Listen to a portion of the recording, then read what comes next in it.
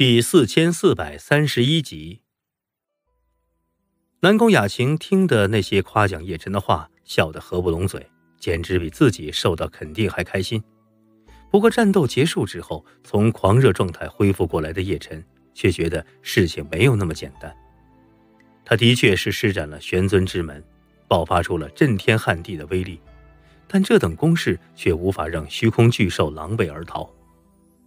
而在此过程中，南宫问天好几次出手相助，看似是在辅助他，但每一次之后，叶辰便从玄尊之门上吸收了源源不断的浩瀚力量。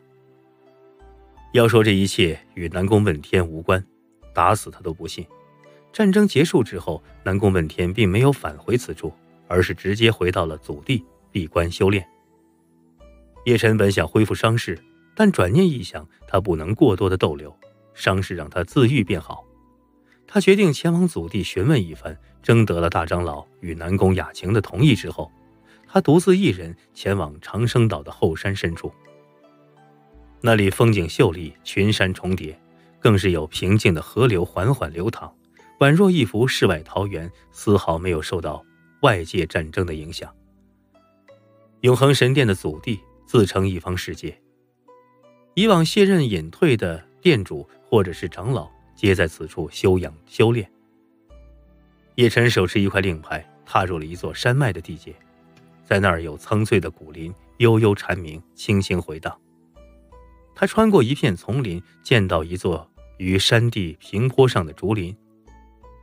在那竹林当中，有一座小屋，门前摆放着数张桌子与椅子，而南宫问天一袭白袍，坐在那儿，正在端杯饮酒，自饮自斟。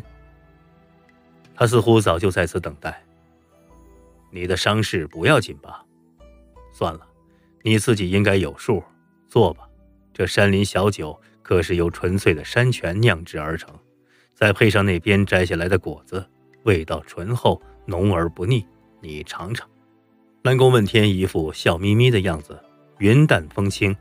他袖袍一卷，那杯澄澈的果酒便凌空飞到叶晨的面前。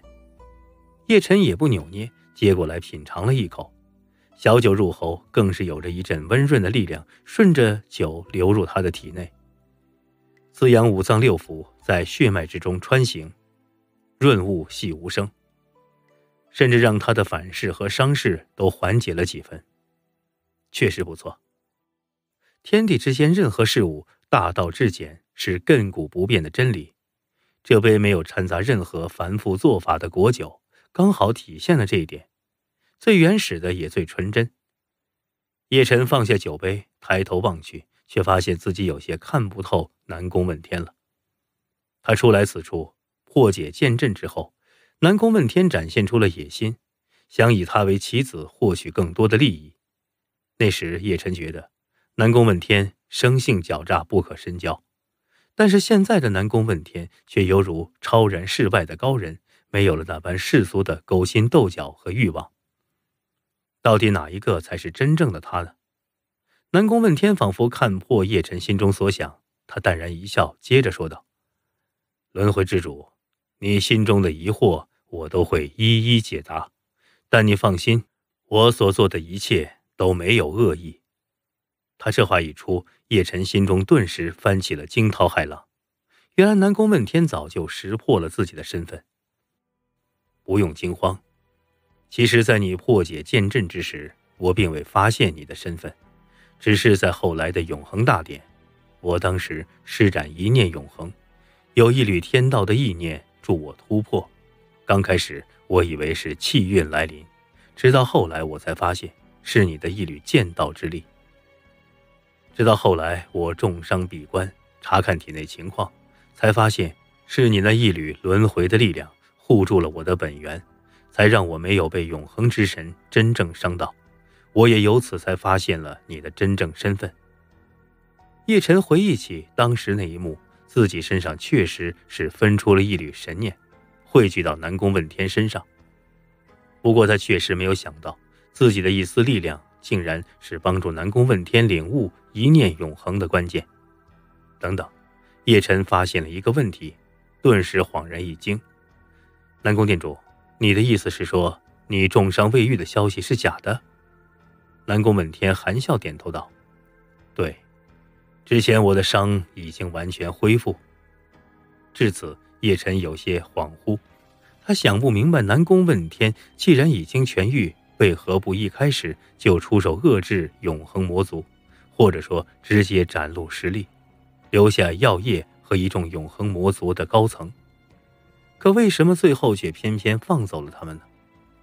凭借南宫问天的实力，若是真正出手，永恒魔族的人恐怕一个都走不了。在他们袭击长生岛之前，我就已经窥探到了因果。南宫问天说道：“你那一缕轮回的力量护住了我，让我免遭永恒之神的指示。这是因，而我在冥冥之中顺应天道，见到了。”玄尊之门，而他的持有者，就是你。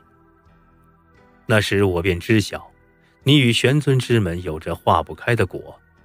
后来我便顺应天道，而为在你接管玄尊之门后，暗中助你一臂之力。现在看来，天道的因果并非为假，你竟然真的能发挥出玄尊之门的真正威力，天赋可见一斑呐！南宫问天乃是天君级别的强者，他所说的话涉及到了天道因果，绝不可能为假。看来叶辰所感应到的与玄尊之门的联系，并非为虚假，也不是突如其来。不过一码归一码，若不是有南宫问天假意不敌，然后在暗中协助，恐怕叶辰也无法单凭玄尊之门的力量击退永恒魔族。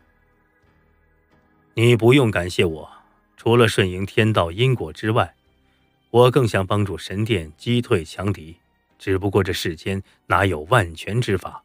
有斗争便会有牺牲，我不过是舍小取大而已。南宫问天的语气中略有唏嘘，他又给自己倒了一杯酒，一饮而尽。然后他手掌一翻，一枚古朴的令牌赫然浮现其上，雕刻着玄尊之门的印记。不知道多少年以前，玄尊之门就已经是我永恒神殿的镇宗之宝。现在与你有缘，我便将它赠予你，希望你好好珍惜这段因果。叶晨接过他手中的玄尊之令，神色也变得郑重起来。多年以来，玄尊之门不仅仅是一门古老的神器，而是变成了一个宗派的底蕴与传承。叶晨接过的是众生之力，而不是无主之物。另外，我可否向你要一诺？南宫问天突然间开口问道，目光紧盯着叶晨，炯炯有神。叶晨眸子一凝，点了点头。以后要是我女儿有难，你要助她一臂之力。南宫问天此时的神色也变得肃穆，他端正身子，那般姿态。是在与叶晨说一件无比庄重的大事。叶晨自然也明白他的心思。南宫问天话中并没有提及到永恒神殿，而是南宫雅晴，当然有所考虑。叶晨与永恒神殿并没有多少渊源，对于骑士死是亡，说到底他不在乎，也不必在乎。而且这种承诺也不一定会被天道承认，索性懒得提起。但是牵扯到南宫雅晴。那就不同了，叶晨与南宫雅晴至少有一纸明面上的婚约，而且这破阵招亲也是为众人所熟知的。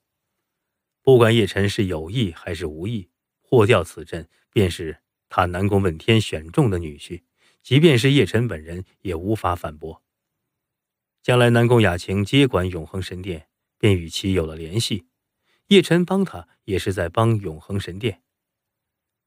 这等理由不必纳入天道誓言的范围内，但日后叶辰必定无法推脱。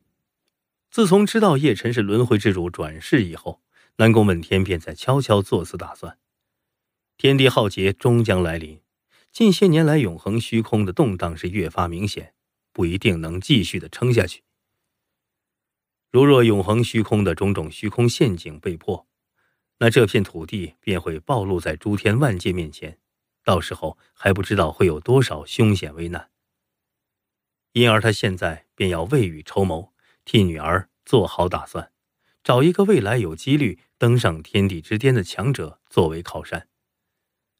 关于外界的一些传言，他也有所听说。叶辰树下的敌人数不胜数，强如万虚老祖，也就是传说中的羽皇谷地，是叶辰最终要跨过的那座巅峰之山。旧日盟的掌门人魔祖无天，也曾经与叶辰爆发过激烈的战斗。太上世界的第一女魔头太上天女，曾经也与轮回之主产生过纠葛。叶辰要面对的，几乎是诸天万界最强大的几股势力。不过叶晨却不是没有任何反击之力，他身后站着当世排名前四的任非凡，这一座大靠山足够替他拦下所有。而且据闻轮回之主能够一路成长至今，乃是有大气运傍身，为应运天地而出现的主宰。南宫问天当然承认有赌的成分，但世间万物、诸天轮回不都是一场赌注吗？叶辰当然也想到了这些，不过他这要求来的突然，他不可能像南宫问天那样站在永恒神殿的角度去掂量。